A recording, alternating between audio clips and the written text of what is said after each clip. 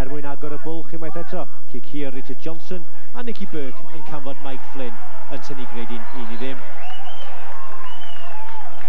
Mae Port Talbot wedi bod yn mwynhau adfywiad yn ddiweddar yn y cyngrair a Kevin Bartley, mab cyn amddiffynwr Abertawe Dani yn taro'r postyn.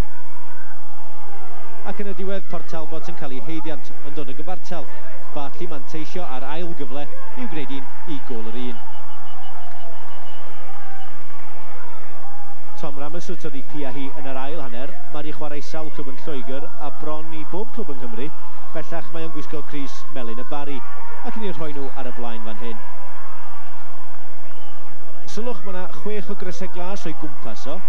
Mae o'n i curo nhw i gyd a dyn Phil Potri am rhif pedwar yn rhoi'r ffidil yn y tro. Digon amser ac yn rhoi'r bel ar blat i Flynn, tair gol i un. Ogi Gornel, yr ysl Wiglin tarnol i Bort Talbot yn yn rhy hwyr cam arall tuag at y bencampwriaeth i dîm Kenny Brown.